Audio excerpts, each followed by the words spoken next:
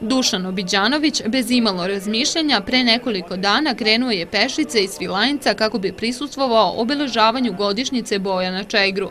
Od kuće poznatog vojskovođe Stevana Sinđelića, odakle je krenuo, prešao je 150 km i stigao do cilja. Na slavni Čegar, na dan kada Srbija obeležava 206 godina od Čegarske bitke. Krenuo sam četvrtak, znači u 9 sati ispred kuće Stevana Sinđelića, tamo, u maloj kapelici dao sam zaključak koji je Stevan Sinđelić učinio polaskom ovde sa svojim srpskim junacima i krenuo sam neki 50 km, znači peške do Paraćina.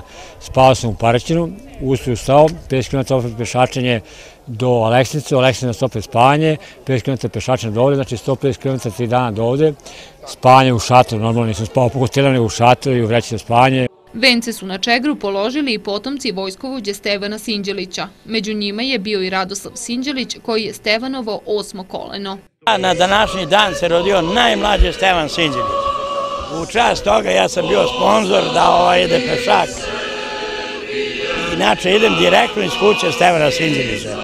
Svečanosti su prisustvovale državne zvanice, gradonačelnik Niša, načelnik Nišavskog upravnog okruga, predstavnici gradske opštine Pantelej i brojne udruženja i nevladine organizacije. Ovaj narod imao je i Obiliće, i Sinđeliće, i Radomire Putnike, Živojne Mišiće i danas na ovom mestu gdje obelažavamo 206 godina bitke na Čegru, neka i u nama u borbi za bolju Srbiju proključata krv Obilića i Sinđelića i neko svako od nas da svoj doprinos da Srbija ostane slobodna, lepa, državu u kojoj će naša deca želeti da žive. Da bismo uopšte govorili o nekakvoj svetloj budućnosti, da bismo mogli da vas pitavamo generacije koje će nas jednog dana naslediti, neophodno je sećati se svetlih momenta u prošlosti, a ovo je jedan od najsvetlih momenta u našoj novovekovnoj istoriji, jer svedoči o žrtvovanju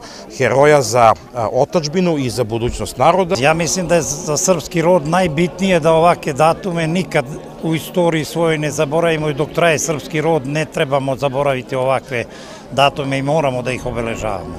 Jer jednostavno i pokolenja koja dolaze mora da mora da znaju šta su naši preci radili da bi oni danas imali svoju zemlju i svoju slobodu.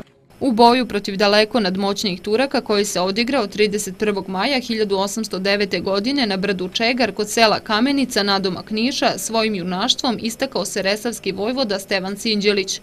Pošto nije mogao da pobedi brojniju tursku vojsku koja je prodrla u Šanac, Sinđelić je pucao iz Kubure u podzemni magacin Baruta.